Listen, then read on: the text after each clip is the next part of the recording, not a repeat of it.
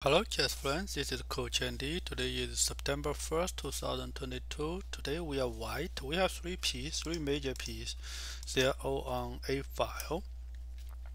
And uh, look like not good, right? If you have one your pieces on one side, then it's not easy to do anything. But there's one thing we can note we, are, uh, we can notice here is our queen can go here basically sack the queen open the king. After king open now we can see this pawn control this and this. So basically there's a line here. So as um, as long as I can checkmate check him very quickly I can checkmate him. So yeah this queen you cannot go back. That's good for us.